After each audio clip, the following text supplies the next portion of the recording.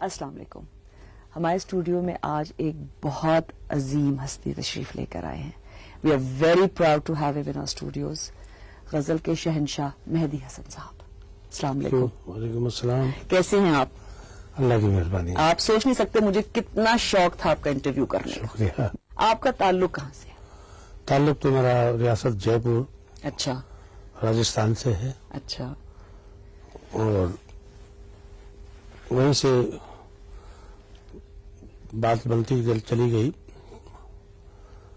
और प्रोग्राम करता हुआ फ़र्स्ट प्रोग्राम मेरा महाराजा बड़ौदा के सामने अच्छा। हुआ। कितनी उम्र थी तब आपकी? उस वक्त में था आठ नौ साल का। सबसे बड़े थे आप फैमिली में बच्चों में? बच्चों में सबसे बड़े थे? नहीं बड़े तो मेरे बड़े भाई थे पंडित गुलाम कादिर खां। तो मेरा प्रोग्राम पहले महाराजा के सामने हुआ। अच्छा आपको कैसा उस वक्त लगा कि मैं जाके इतने वो बादशाह के हाँ जी, सामने वो तो- मैं करूँगा? और भी प्रोग्राम करता रहा हूँ लेकिन फ़र्स्ट प्रोग्राम वही हुआ। अच्छा। बड़ौदा महाराज के सामने। तकरीबन 40-45 मिनट तक का वो था प्रोग्राम। मैं वो गाता रहा हूँ। बात करनी मुझे मुश्किल कभी ऐसे तो न थी जैसे अब है। आपने किससे सीखा? मैं अपने खानदान में कलाम फैमिली से हूँ। अच्छा। मेरे सिक्सटीन जनरेशन सोलहवीं पुश्त है मेरी। अच्छा। मैं स्कूल में आदमी हूँ। मेरे वालिद दादा परदादा धरदादा इस तरह सोलह पुश्त से ये चला आ रहा प्रोग्राम मेरे प्रोग्राम मौसीकी का। आपको जब से याद है आप यही आपको था कि मैंने गाना है। क्या आपके दिल में कभी कुछ और भी था कुछ बनने के लिए या? नहीं मौसीकी का ये गाने का ही था। अच्छा शौक बहुत शौक था। कि गाना इसको आगे बढ़ाना चाहिए। अच्छा। और इसमें कोई नई बात तो इस तरह रास्ता अल्लाह ताला देता छोटी उम्र में तो बच्चे नहीं रियाज वगैरह करना चाहते चिड़ते हैं इन चीज़ों से। कहते हैं भागे बाहर जाके खेले ये करे। आप नहीं नहीं मुझे तो और कोई शौक ही नहीं था सिवाय इसके मौसीकी के चलते फिरते, बल्कि बड़ी मज़ेदार बात है, वहाँ पंजाब में चीचावतनी बाज़ार से मैं गुजरता था, मेरे वालिद साहब को, जाओ, फलानी चीज़ें ले आओ। बाज़ार से तो ला के देता था। तो उस वक्त ही मैं कभी हाथ मार रहा हूँ, कभी तान मार रहा हूँ, कभी मुँह टेढ़ा हो रहा है, कभी कुछ। ये गाता ही रहता था हर वक्त। जुनून की हद तक बस वो लाइफ थी आप तो लोगों ने फिर ये भी कहा कि खासा वजीम खा आपके ये जो छोटा बेटा है कोई मेंटल केस तो नहीं है? कि भाई ये क्या कर रहे हो? क्या वो हर वक्त कुछ ऐसा करता रहता है? कहेगा नहीं वो जो कुछ कर रहा है जहाँ भी है जिस लाइन पे है वो वो उस पर रहेगा। तो वो मौसीकी का ही लगाव है उसका। तो रियाज करता रहता साथ साथ गाता रहता चलता फिरता उठते बैठते। यही था मेरा शौक। तो आपने जब आठ नौ साल की उम्र में पहली दफ़ा जब आपने परफॉर्मेंस इतने बड़े महफिल के सामने महाराज के सामने। तो फिर उसके फिर उसके बाद आपने यानी कि अपनी पहली जो मेन जो आपकी एक और परफॉर्मेंस जो भी आपने जो मेन की वो किसके लिए की थी फिर? वो इसी तरह प्रोग्राम निकलते आए महाराजों के राजे मनराज उस वक्त तो आप गज़ल नहीं गा रहे थे। नहीं उस वक्त classical light classical light classical जी। अच्छा और गज़ल आपने कब कब गाना शुरू गज़ल जब डूबते देखा कि गज़ल डूब रही है जा रही है बेगम अख्तर भी आ चुकी थी तलत महमूद साहब भी गज़ल पॉपुलर उनकी हुई। उसके बाद वो मेरा ख्याल 1950 में ये गज़ल जो है वो डाउन हो गई। तो उस वक्त मैंने ये गज़ल ये सोच के जान के आपने हाँ कहा कि, कि इसको भाई मैंने बढ़ाना चाहिए। कि उर्दू जबान हमारी है हमारी पाकिस्तान की जो जबान है असल उर्दू जबान है।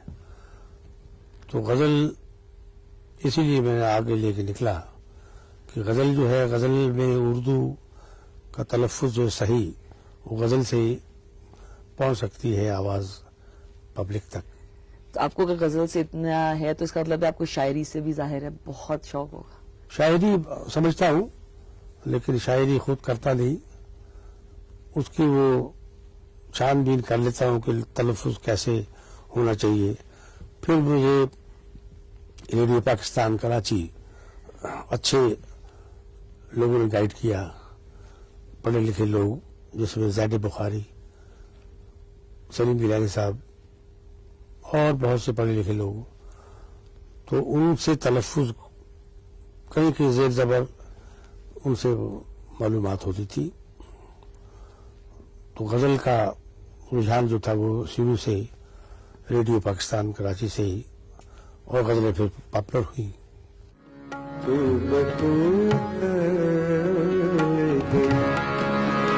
मैं अगर आपसे कहूँ कि आप किसकी गज़ल किसके सुनना चाहते हैं कि पसंद करेंगे तो आपके आपको कौन से गज़ल सिंगर्स आप सुनना पसंद करेंगे?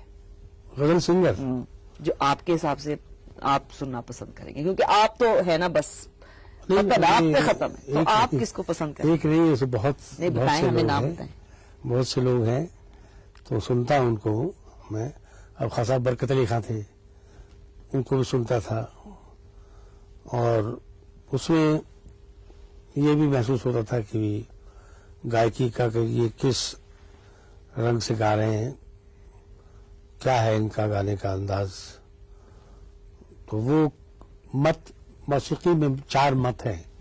शिव मत अच्छा। हनुमान मत कृष्ण मत।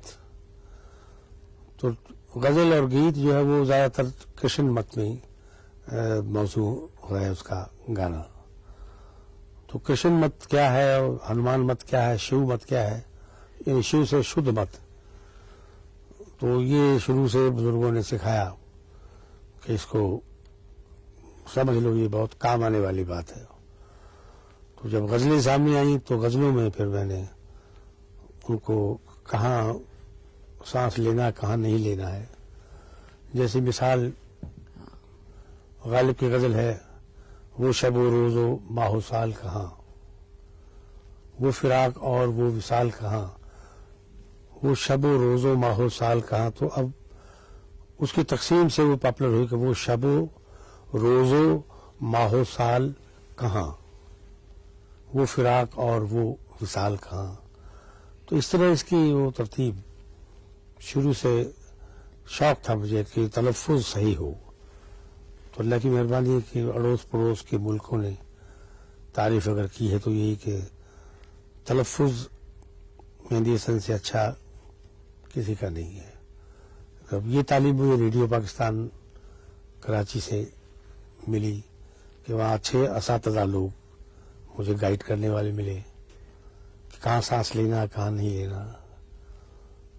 तो इस तरह गज़ल समझ भी आने लगी लोगों को। और पॉपुलर हुई?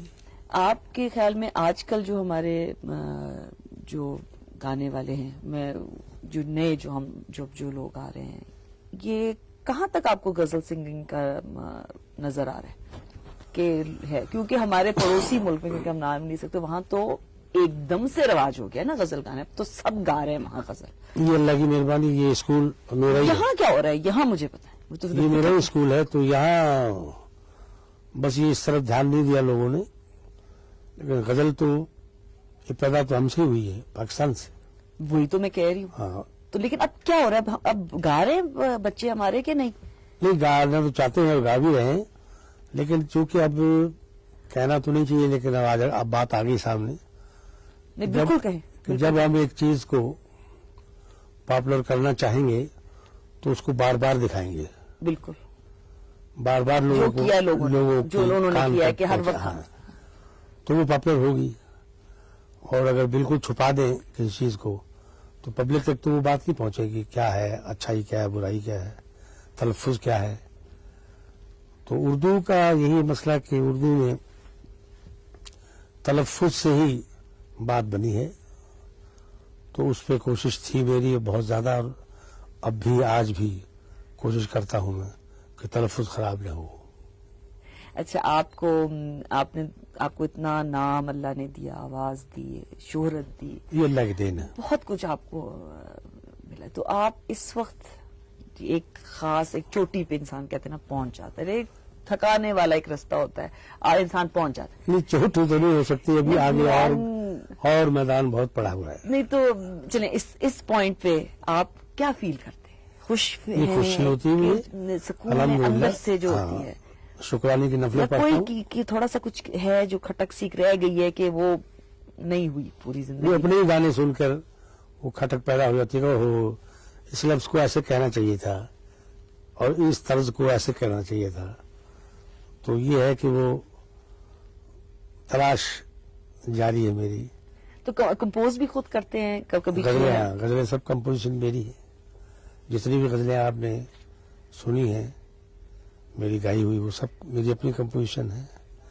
मेरे बड़े भाई पंडित गुलाम कादर साहब की कंपोजिशन भी है। भूली बिसरी चंद उम्मीदें, चंद फसाने याद आए। ये मेरे भाई साहब की मोहब्बत करने वाले कम न होंगे। ये मेरे बड़े भाई। कोई बचपन का ऐसा वाक्य आपको कोई याद है जो कि आप अभी भी कभी कभी सोचते हैं तो कोई चीज़ आपको आ जाती है वापस? आपका घर आपकी जगह। हाँ वो तो याद रहता है आता याद तो आती रहती है अपने गाँव की घर की अच्छे लोगों के साथ वक्त गुजारने की याद आती रहती है। अच्छा आपका मैं मैंने देखे क्योंकि मैंने आपको इंटरव्यू करना था तो मैं थोड़ा बहुत ना लोगों से पता करती हूँ उनके बारे में कुछ बताओ मुझे कुछ उनकी तबीयत। अच्छा। रोमानी सुना है तबीयत आपकी बहुत रहे। हाँ जी। रोमानी तबीयत। रोमानी रोमान के बगैर मेरे बहुत अच्छी चीज़ के बगैर। नहीं हो सकती। ज़िंदगी बेकार है। है जाने वफा दिल में तेरी याद रहेगी सुर का है सुर की लगन है भी आज भी अब भी। कि सुर लगे तो सही लगे कि लाहौर में गिलास टूट गया था। सुर लगा के, सुर ही लगाया था मैंने, बताया था किसी को कि इन्हें ये यूँ नहीं, यूँ लगना चाहिए। तो दस फुट दूर था, गिलास फट गया था वो। तो वो कोई जादू मंत्र नहीं था, सिर्फ़ सुर की फ्रीक्वेंसी, वो मिक्स हो गई। जो उस गिलास की थी, वो सुर जो मैंने लगाया तो वो मेरा सुर और वो गिलास का सुर एक हो गया। एक हुआ तो वो फट गया। और इसकी ज़िंदा मिसाल है कि तानपुरे के तार, जोड़ी का तार जो होता है, दो होते हैं। एक ही सुर पर मिलाया जाता है वो। जब एक जान मिल जाता है, तार तो एक टूट जाएगा। क्योंकि वो सुर की, सुर बर्दाश्त नहीं करता वो। टूट जाता है वो। सरंगी की तरबें हैं इतनी, ऊपर गज के साथ वो बजा रहे हैं। नीचे उसी, उन्हीं सुरों की वो तरब मिली हुई है। तो उन तरबों को तो छेड़ता ही नहीं सरंगी नवाज़। वो अपने आप खुद बोलती है। जब वो सुर लगता है तो वो तरब बोलती है। रेखब, पे उंगली आई, रेखब, सच्चा लगा दिया सरंगी वाले ने तो वो बोल पड़ेगी। अपने आप बोलेगी। कभी गौर से आप देखिएगा, सरंगी के करीब माइक चला जाए कैमरा तो सब तार लड़ रहे होंगे। वो बजते हैं। बगैर बजाए बजते हैं। और ये तजर्बा मुझे रेडियो पाकिस्तान कराची में हुआ। एक साज तारों का रखा हुआ था पियानो के ऊपर। तो रिकॉर्डिंग कर रहा था मैं तो उसी सुर से मैं भी शुरू हो गया। और नातिया कलाम रिकॉर्ड कर रहा था। तो अल्लाह बख्शी इम्तियाज़ साहब रिकॉर्डिंग कर रहे थे। फ़ौरन वो कट कर अरे यार ये साज कौन बजा रहा है? मैंने कहा इम्तियाज़ साहब, साज तो कोई साजिंदा है ही नहीं। स्टूडियो ग्यारह नंबर मैं मैं हूँ और स्टूडियो है, माइक है और ये कहने, नहीं, साज साज की आवाज़ कराचा में रिकॉर्ड करके अभी सुनाता हूँ आपको। तो मैं तब तक मेरी निगाह पड़ गई उसके ऊपर। अरे, मैंने कहा, ठीक है, एक मिनट। तो कपड़ा था खिलाफ उसी का सारंदा सारंदा नाम था उस साज का। मुनीर सरहदी बजाते थे। अल्लाह बख्शे तो वो देखा होगा आपने। तो वो बज रहा था अपने आप। तो जब उस पर कपड़ा डाल दिया हाँ। हाँ मैंने कहा आवाज़ आ रही साज की करे नहीं। हाँ मैंने कहा वो बंद हो गया वो ये सारंदा वो रखा हुआ सामने। तो मैं गा रहा हूँ नातिया कलाम और वो बज रहा है। बगैर छेड़े। वो भी दस बारह पंद्रह फुट दूर था मुझसे। लेकिन जब आवाज़ लगती थी पीछे लड़के लड़कियों का कोर्स था। तो वो बचता था। तो जो कपड़ा डाला मैंने कहा अब कह रहा अब अब नहीं। अब नहीं आ रही आवाज़।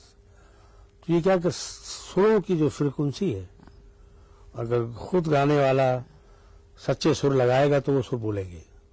अपने आप बोलते हैं। यानी कि आपकी तो वन एंड ओनली आखिरी और पहली मोहब्बत सुर है। जी जी। इश्क कैसा लगा था कि फिल्म्स के जब आपको पहली दफ़ा कहा कि जी आप आके प्लेबैक जी, मुझे कोई आके मुँह हिलाएगा मेरी आवाज़ के ऊपर, क्या? नहीं, फ़िल्म के गाने बहुत गाए मैंने। मैं फ़िल्म उन्नीस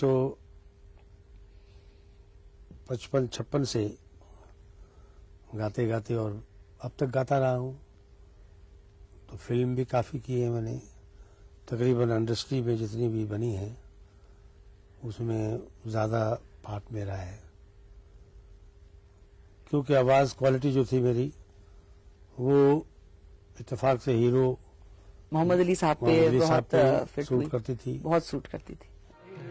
कहाँ गज़ल आप गा रहे हैं प्रोग्राम और एकदम से फ़िल्म जो बड़ा हल्का फुल्का कहीं जरा तेज भी फड़कता हुआ भी जरा शोख भी यू नो ये बुज़ुर्गों ने आवाज़ को बनाया ऐसा है उन्होंने रियाज ऐसा करवाया है कि हर किस्म का गाना गाया मैंने और पॉपुलर हुआ आप जब प्लेबैक करते थे तो आप पूछते थे कि भाई ये सीन क्या है?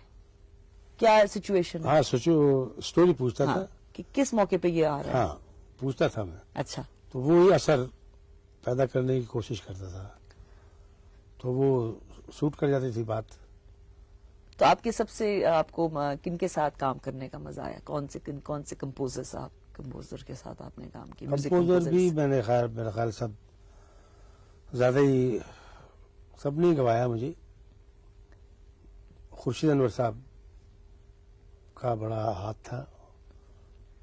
और आजकल जो हमारे अच्छे कंपोजर हैं मेरा मेरा ख्याल है सबके ही गाने गाए हैं मैंने।